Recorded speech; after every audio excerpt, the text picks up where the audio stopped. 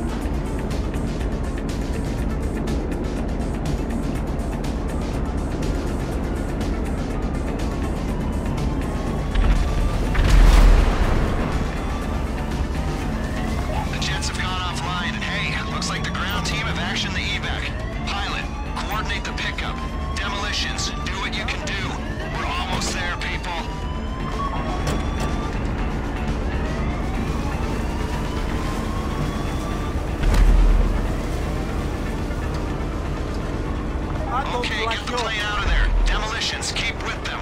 When the rest of the crew bails, you'll be picking them up. You need to evade the authorities before you bail out of there. Run evasive maneuvers, get clear, then head toward the drop zone. Are not nice. This all goes to plan. You rendezvous on the beach in the Palomino Highlands. And remember, Rashkovsky's paying you to get him out. I'm just a friendly stranger you know very little about.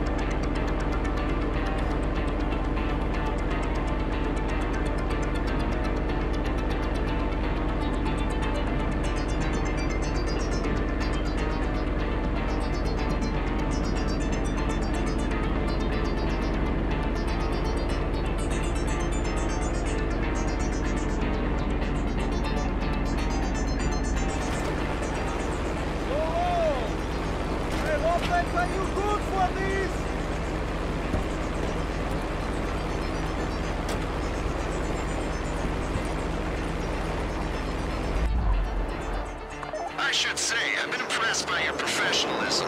Now, I'm not gonna go into it, but Rashkovsky's part of something bigger. Way bigger. I need to make a few more inquiries and